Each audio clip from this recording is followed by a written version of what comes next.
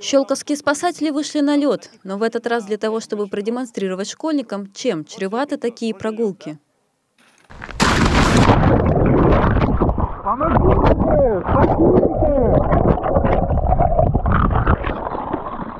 Экскурсии на спасательной станции давно стали частью рабочих будней Щелковского центра гражданской защиты. Здесь проводится большая профилактическая работа с подрастающим поколением. В том числе и благодаря ей в зимний период на территории нашего городского округа не произошло ни одного несчастного случая, связанного с выходом на лед. Наступил март, время, когда холода еще не отступают, но солнце уже пригревает. В такую обманчивую погоду, к сожалению, находится немало желающих выйти на лед.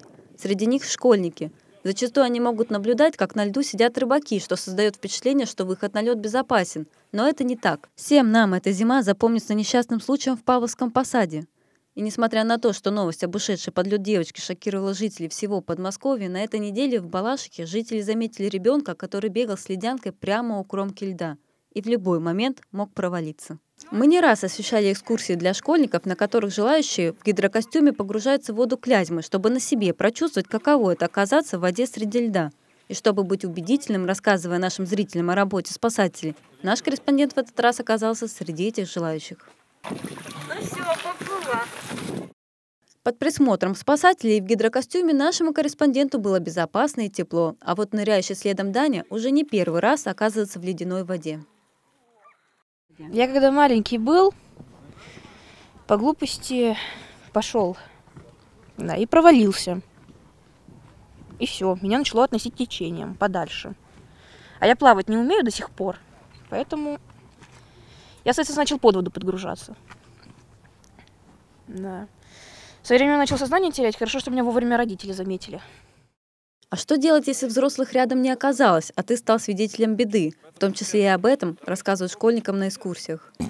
Звони 112, так как только случилась ситуация, даже если человек не может определить, э, так где это происходит, вот в, любой, в любом месте, когда набираешь 112, сразу у оператора происходит мобильное позиционирование. То есть на это, по этому адресу уже э, понятно, куда ехать.